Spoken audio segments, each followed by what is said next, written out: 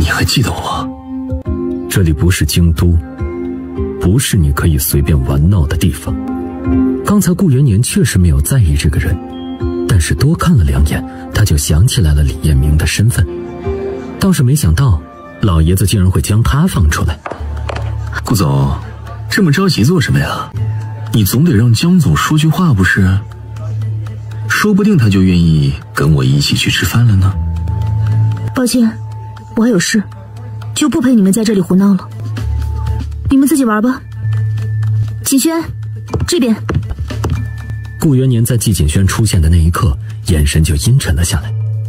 他还以为江月溪今天是自己一个人来的，没想到季锦轩也跟着一起来了。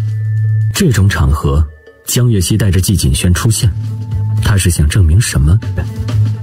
我们走吧。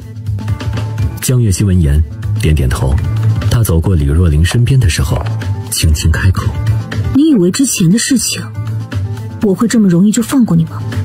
李若琳心里想什么，江月溪看得一清二楚，只是刚才他没有说出来罢了。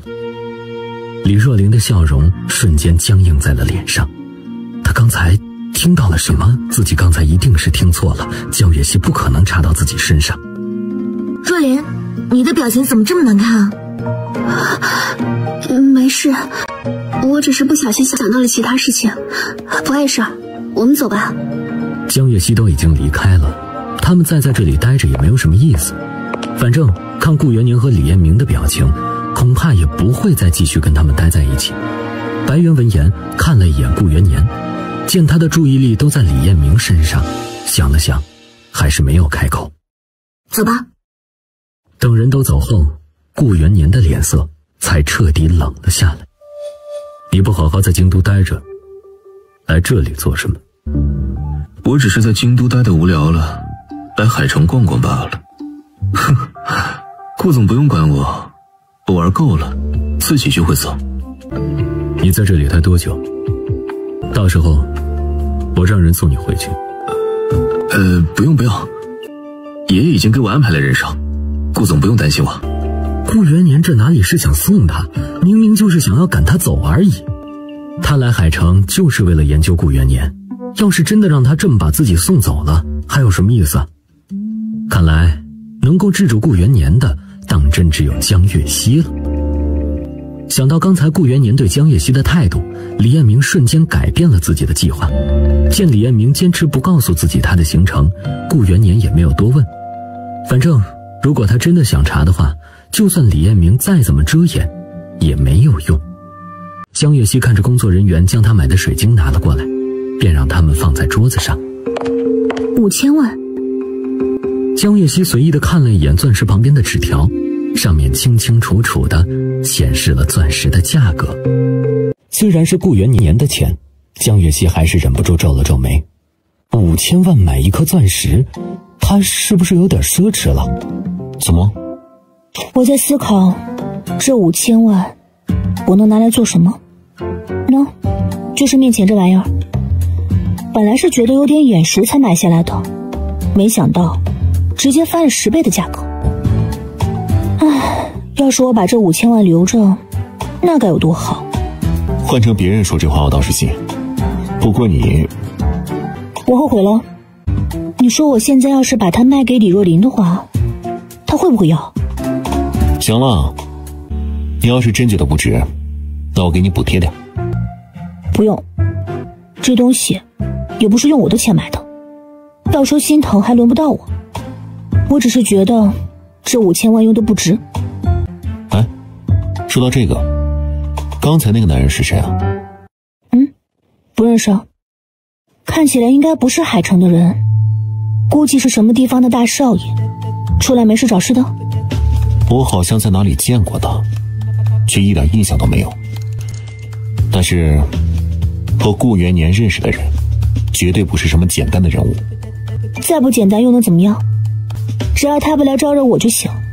如果非这么不长眼的话，那我也不用给他留面子。这位先生，你不能进去。先生，江总，我总算是找到你了。看你们这里这么空旷，不如多加我一个。江月溪看着他的表情，很正常，没有什么不对劲。但是，越是正常，就代表越有古怪。我听说你和顾元年的关系不怎么好。如果你是为了八卦来的，那就没有什么好说的。不要这么酷嘛！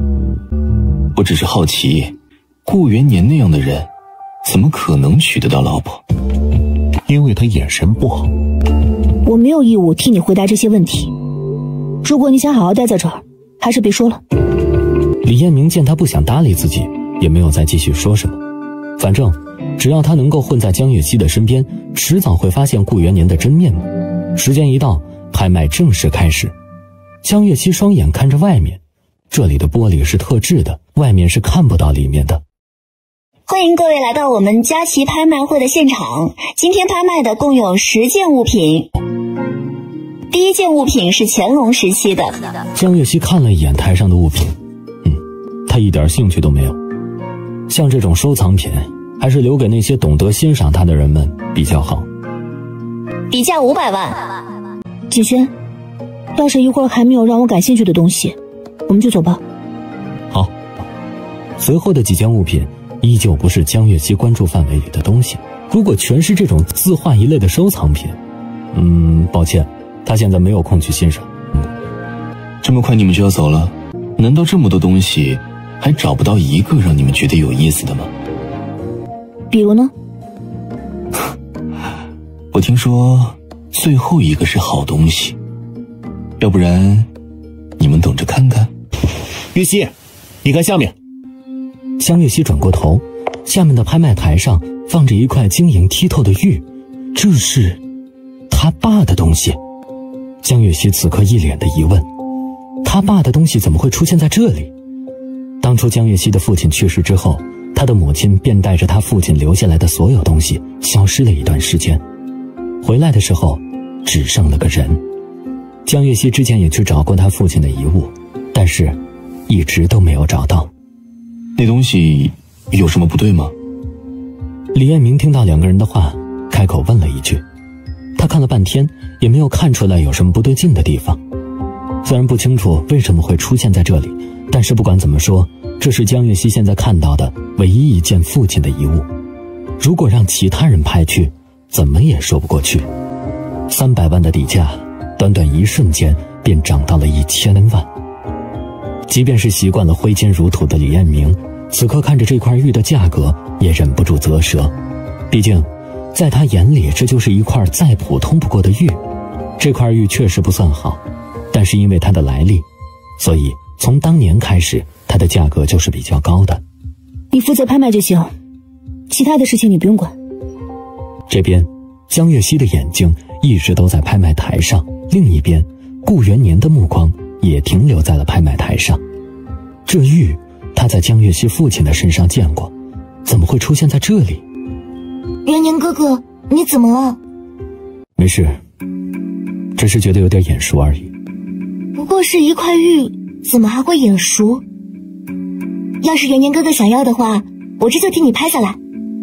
不用，我去跟这儿的负责人说一声，让他给我留下就好。江月溪，顾元年想到刚才江月溪和季锦轩一起离开的背影，眼里闪过一丝怒意。之前他觉得季锦轩碍眼，但是还没有到现在这种程度。如今再看见季锦轩，顾元年对他的不满到了极点。明明江月溪和自己还存在着婚姻关系，但是季锦轩竟然丝毫都没有顾及到这一点，当众和江月溪走在一起。难道他当自己是不存在的吗？